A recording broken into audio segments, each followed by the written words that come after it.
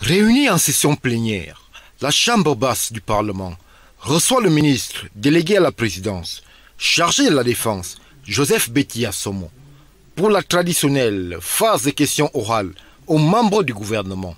Interpellé par l'honorable François Biba du Parti camerounais pour la réconciliation nationale à propos des promotions et autres stages dans la Grande Muette, le patron de la défense explique.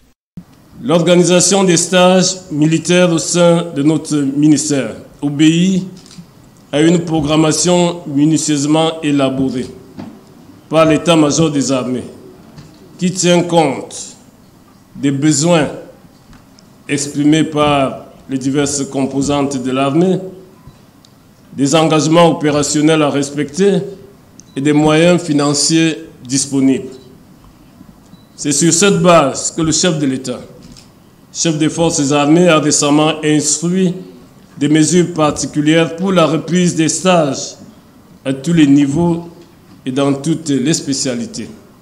Stages qui avaient été suspendus depuis près de cinq ans en raison des diverses contraintes auxquelles les troupes sont confrontées dans les diverses opérations à travers le pays.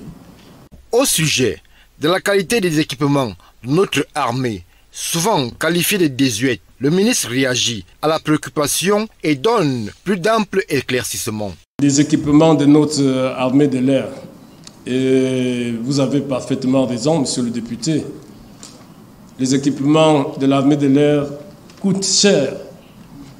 Je ne vous donnerai pas ici le prix d'un hélicoptère, d'un bombardeur, d'un chasseur, d'un avion de chasse ou alors d'un avion de transport des troupes sont des équipements particulièrement chers. L'effort que nous faisons, c'est d'abord de maintenir, n'est-ce pas, d'assurer la maintenance des équipements disponibles. La durée de vie d'un avion, elle est plus longue que celle d'un véhicule. Parce que si le véhicule de transport de tout peut s'amortir dans 3 ou 4 ans, l'avion, par contre, il peut servir pendant 10, 20, 30, voire 40 ans et être toujours performant. Donc voilà l'effort que nous faisons, maintenir les équipements en place. Ces dernières années, nous avons néanmoins acquis des hélicoptères parce qu'on en a grand besoin dans les zones d'opération.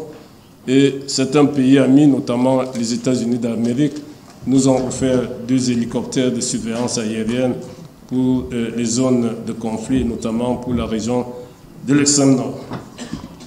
Plus qu'une rencontre, le ministre délégué à la présidence chargé de la défense, s'est fait porte-parole d'une grande muette, souvent décriée, mais toujours au service de la nation.